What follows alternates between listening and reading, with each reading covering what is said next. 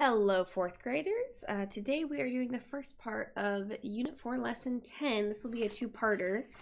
Um, so let's start off with this first part here. It says to find factor pairs. A factor pair is a number, or for a number, is two whole numbers whose product is that number. For example, 2 and 5 is a factor pair for 10.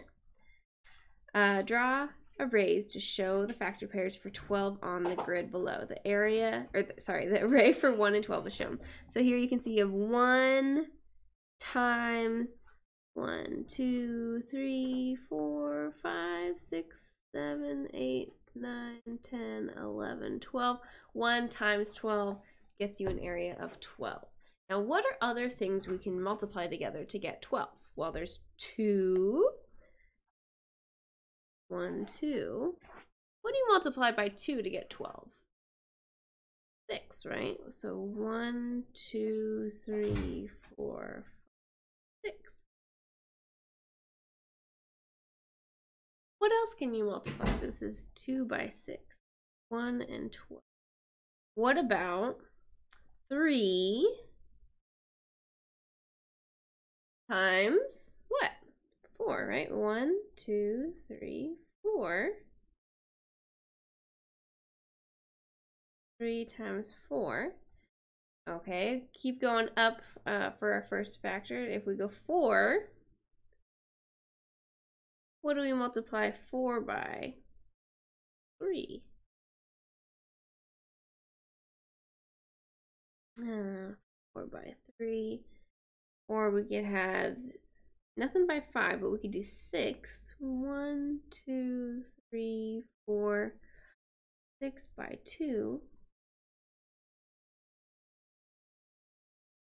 By two, which is really just the two by six on the side. And we could also do 12 times one.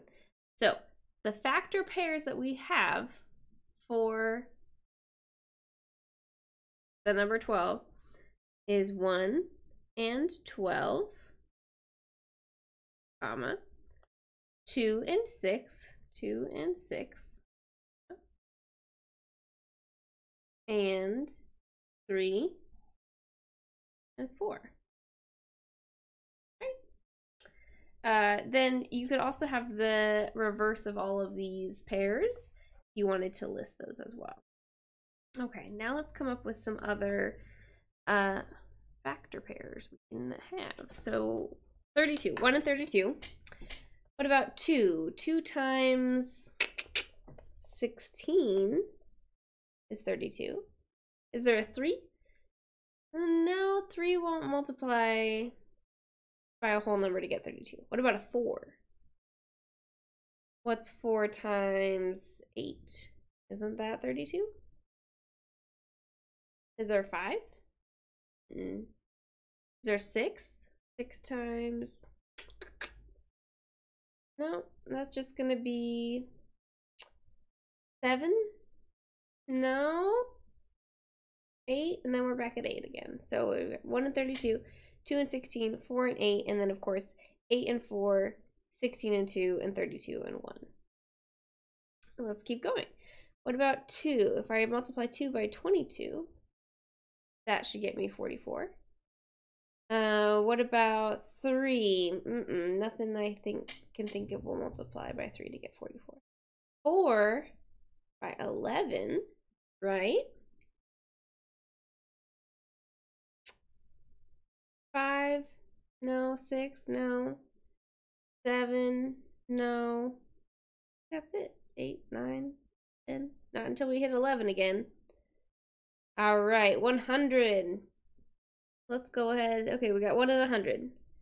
Two and fifty. There three? No. Four. Twenty-five. Five. Twenty. Six? No. Seven? No. Eight? Yeah. Eight would be like 13 and a half or 12 and a half, right? So that's not a whole number. 9, no, and 10 times 10. And then, of course, uh, 11, no, 12, no, 13, mm-mm, 14, so 15, no, that's it.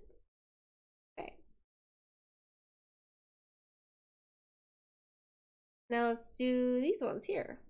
Uh, 29. Well, we got 1 and 29. 2, no, it's not an even number. 3, no, because 3 times the or 3 times 8 is 24. 3 times 9 is 27. 3 times 10 is 30, so no 3. No 4. No 5. No 6. No 7 no, eight. And I'm going through, for each of these, I'm going through, like, what's my closest one for seven? Well, that's seven times four. So that's not going to be it. Closest one for eight would be either the 32 or the the 24. Closest one for the 9 is going to be times the 3. So really the only ones for this are uh 1 and 29, which is a special kind of thing. So at number 63, we got 1 and 63 two, no, three. Yes, because 60 plus 3. 3 times 20 is 60, and 3 times 1, so that would be 3 and 21. Uh, 4, no. 5, no. 6, no. Because that would have to cut the 21 in half. Seven, yes. Seven times nine. And then eight, nope.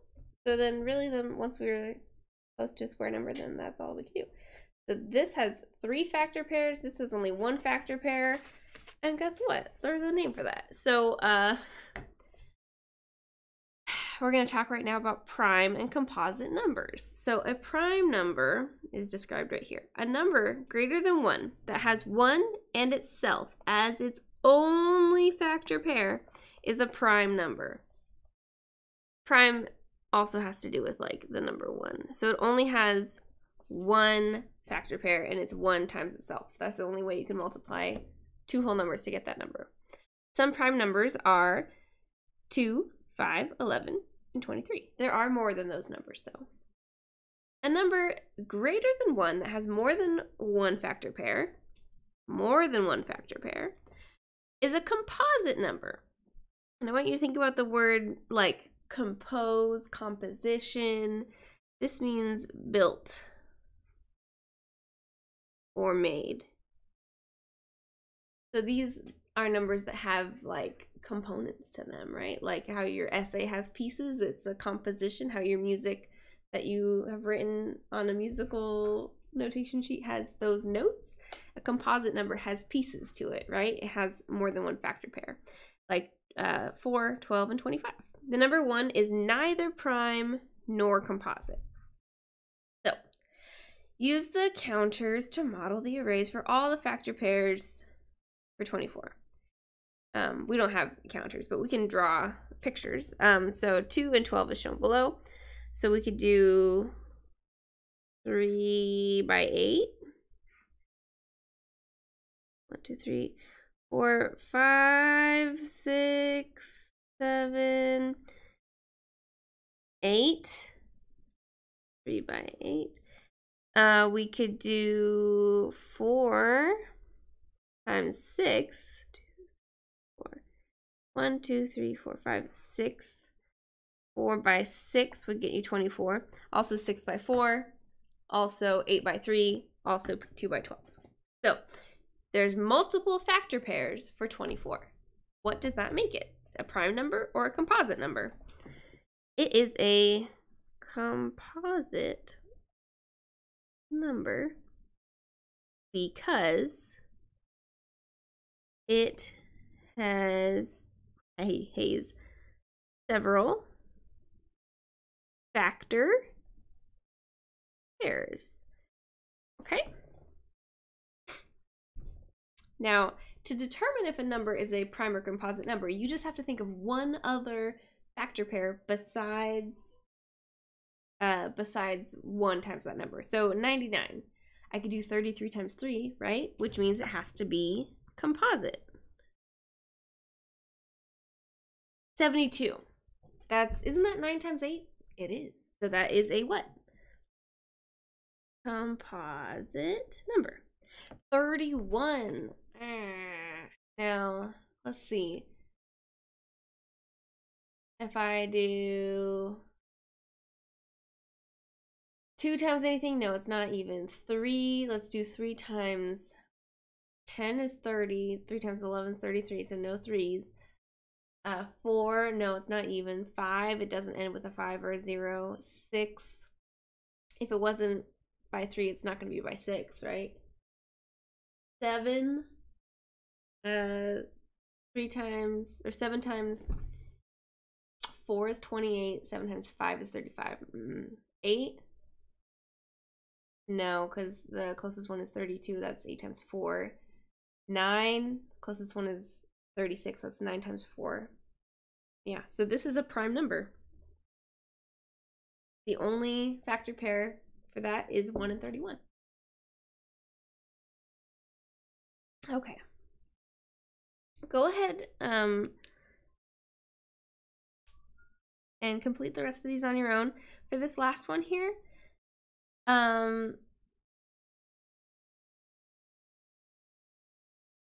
because uh, any other even number can be multiplied by and have a factor pair that has two in it. Okay? All right, so go see if you have a uh, an assignment. I think for for this one we're actually not going to have an assignment yet, so go ahead and practice in Prodigy or whatever else your other assignments may be. Practice your math facts. As you can see, knowing your math facts is extremely helpful, and I will catch you next time. Bye bye, everybody.